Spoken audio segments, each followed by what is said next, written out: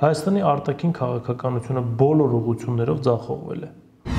Մակրոնն էլ վեր կացավ մի օր ինչպես